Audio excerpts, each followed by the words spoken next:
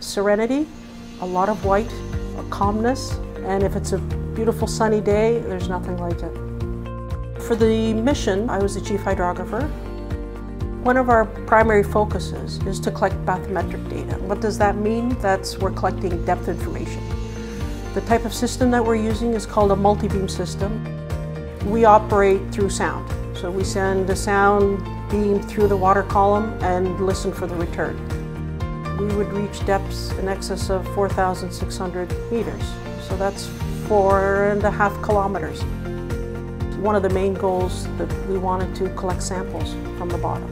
And in order to do that, uh, we need to have a certain type of feature. We needed something with a steep slope, uh, whereby our uh, accompanying vessel, which was the icebreaker Oden, they were equipped with uh, dredging equipment.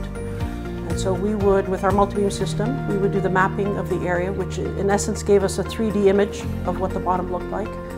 And we transferred the data to them, and they were able to better select and uh, be more efficient in their collection of the data. It's quite interesting living on a ship.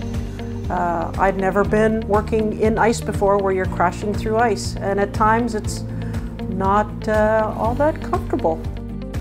When it comes together it's a beautiful thing and it happens as well. There's that synergy on board where you've got three departments that are communicating and cooperating and We've got sometimes two or three different types of science going on all at the same time. So that's pretty fabulous.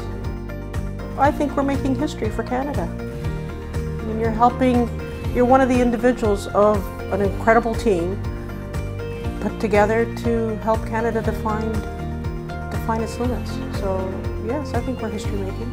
From a personal perspective, it's interesting, news, unique. Uh, the wildlife was fantastic experiences that many people in the world won't have.